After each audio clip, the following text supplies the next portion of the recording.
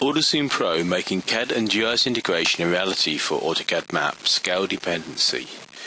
With AutoZoom Pro, you can configure it so it only runs data connections that only pulls in data below certain scales. This can really speed up uh, request times and reduce the amount of data we retrieve, making AutoZoom Pro and AutoCAD map far more efficient. Another feature that makes AutoZoom Pro really fast and quick to work is the use of scales. Here we have scale numbers. This means only run this particular search, only fetch this data when we're below this scale. By using these, you can really safeguard your network and your speed of machine.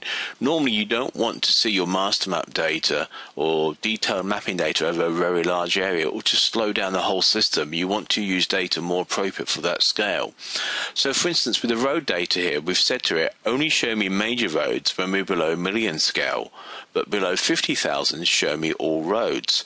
So, if I just zoom in here now a small way, we're above 50,000, uh, so it only shows me main roads.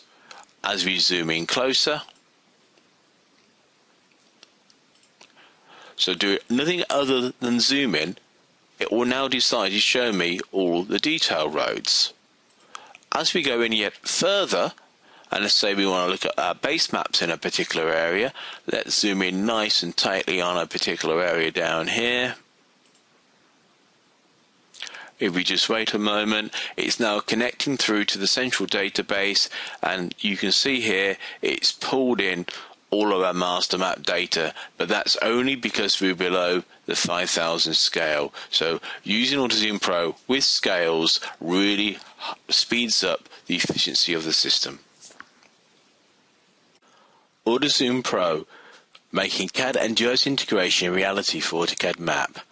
Go to the AutoZoomPro.com website and download a fully working trial version now to see just how easy and quick it is to use AutoZoom Pro.